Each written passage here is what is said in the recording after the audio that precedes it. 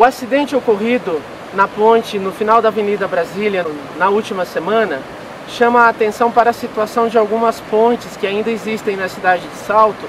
e que são totalmente inadequadas para o tráfego do, dos, do, desses locais. Exemplo, na ponte no final da Avenida Brasília, o caminhão caiu no rio porque o motorista precisou desviar e evitar um acidente. Outro ponto bastante crítico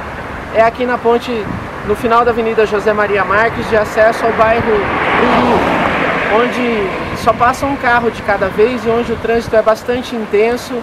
e que exige uma medida urgente do município para oferecer mais segurança para as pessoas que transitam por este local.